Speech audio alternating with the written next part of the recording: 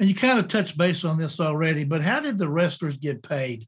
Did they get paid at the end of the night? Did they get a check right, written to them? Did they get paid every week? Do you know how that went?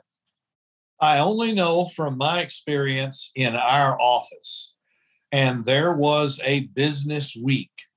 And I don't know if it went from Monday through Sunday or Friday to Thursday, but they were paid one check a week based on whatever they earned, where they wrestled, where they were on the card, you know, top talent, mid level, low level talent, what the gate was.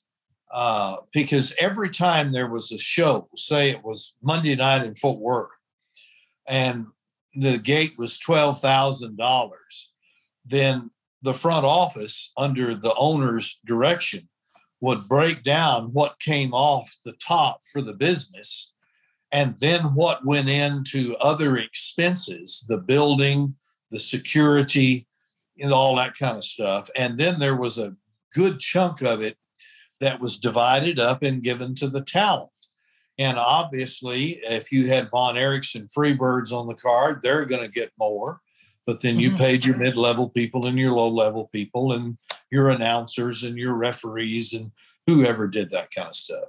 Gotcha. Um, believe it or not, this is the number one question fans have.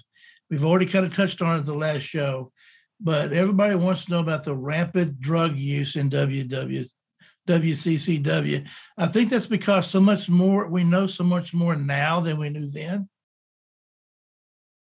But did you ever witness this going on? Did were you aware of it going on? Did did you ever see it going on? What can you tell us about that? Tony, I have I have marveled to the point of really what I would describe as gracious and humble gratitude that I almost felt very mysteriously protected from that. Mm. Now, remember, I didn't travel with the guys. I worked Friday nights in Dallas and Monday night in Fort Worth and occasionally went other places with them. Went to San Antonio several times, Lawton, Oklahoma, Oklahoma City, flew to Boston, Massachusetts uh, a couple of times for shows up there. So I wasn't traveling with them and I didn't do the nightlife stuff after it was mm-hmm. over. I got in my car and went home, went to bed. Right. Uh, because you know on Monday night I was I was teaching school uh, in the daytime. I had to be at work at seven thirty the next morning. Now, by the time Friday night came around, I'd worked all week, did that. I was tired and went home, and I wasn't a, a partier anyway. Sure. So I was really insulated. I heard things here and there. And then the last three years or so, maybe four, I was there, I became aware uh, that there was a lot of drug use because by then Gino was gone and he had the cocaine problem that's been well described.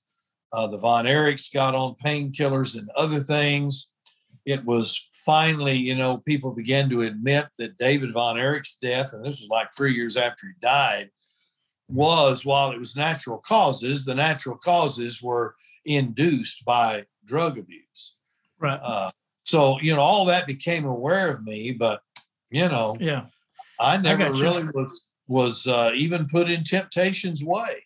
And as a young single guy, I'm not sure how I would have handled it uh, if I had been. That's why I say I feel very mysteriously protected.